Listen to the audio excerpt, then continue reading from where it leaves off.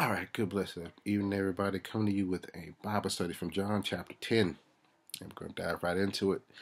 Uh, King James Version as usual. And it says, Verily, verily, I say unto you, he that entereth not by the door into the sheepfold, but climbeth up some other way, the same is a thief and a robber. But he that entereth in by the door is the shepherd of the sheep. To him the porter openeth, and the sheep heareth his voice, and he calleth his own sheep by name, and leadeth them out.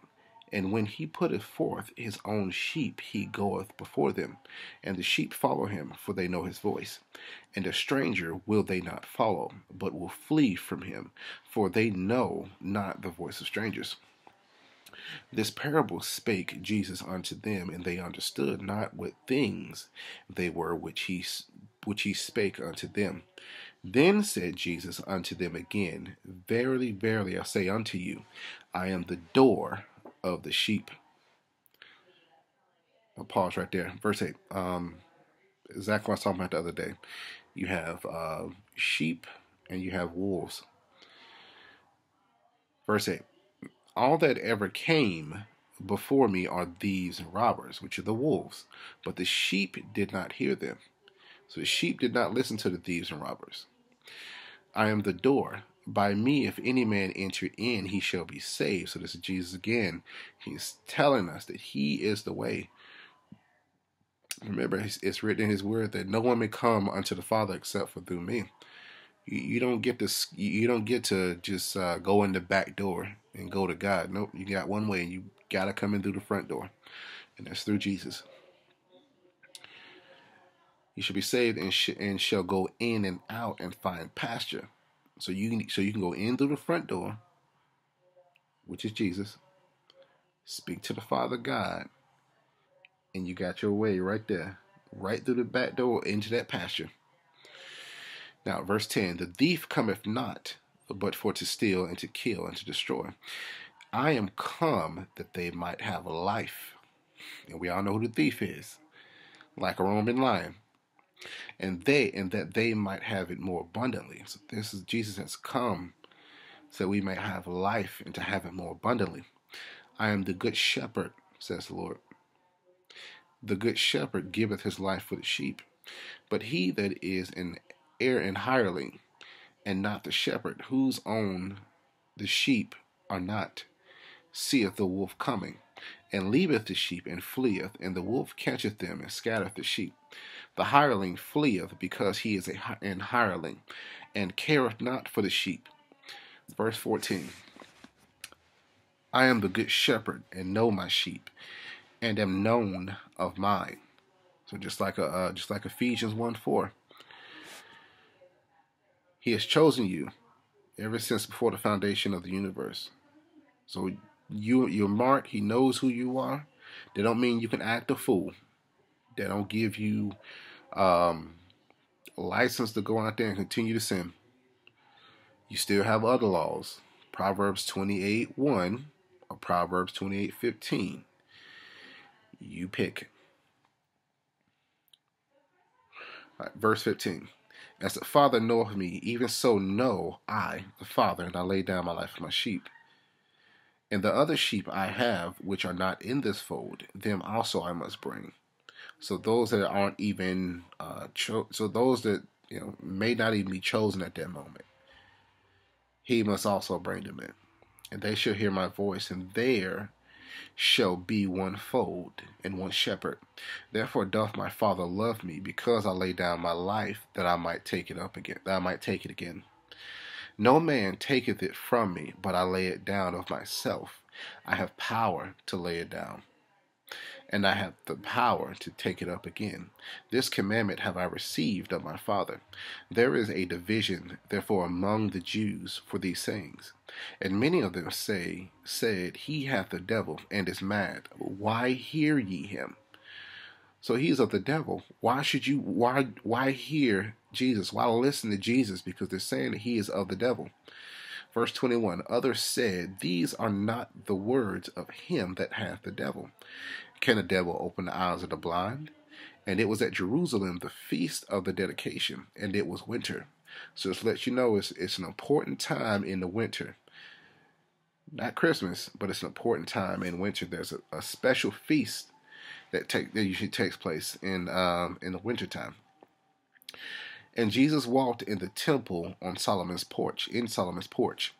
Then came the Jews round about him and said unto him, How long dost thou make us doubt? So how long will you have us doubt? In the next part, if thou be the Christ, tell us plainly.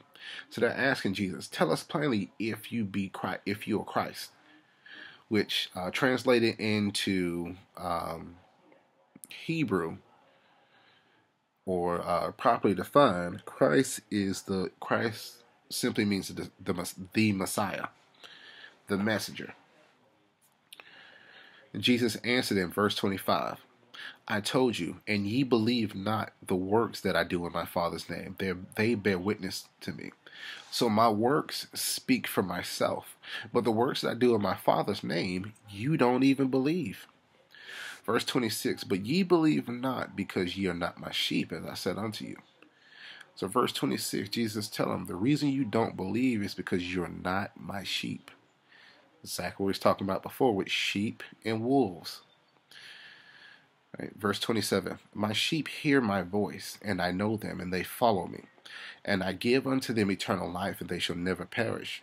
Neither shall any man pluck them out of my hand. So he's he said, You can't even take, you can't touch my sheep. You can't take my sheep away from me. My, for my sheep will never perish, they will have eternal life. Verse 29 My Father, which gave them me, is greater than all, and no man is able to pluck them out of my Father's hand. I and my Father are one. Verse 30. Then the Jews, verse 31, then the Jews took up stones again to stone him. Jesus answered them, Many good works have I shewed you from my Father. For which of those works do ye stone me? The Jews answered him, saying, For a good work we stone thee not, but for blasphemy, and because that thou, being a man, makest thyself God. So, verse 33, they're saying, uh, We're stoning you, not because of the works that you've done, but we're stoning you because of the blasphemy that you speak.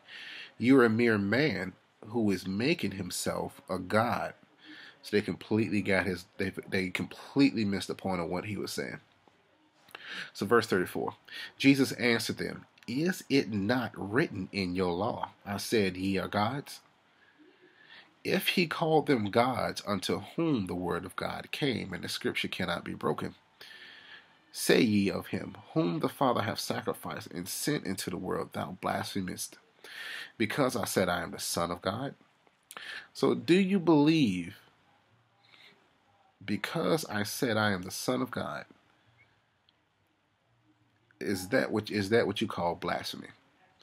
Verse 37 If I do not the works of my Father, believe me not. So he's like, just don't believe me. If I don't do the work of my Father in heaven, just don't believe me. Verse 38 But if I do, thou, though ye believe not me, believe the works, that ye may know and believe that the Father is in me and I am him.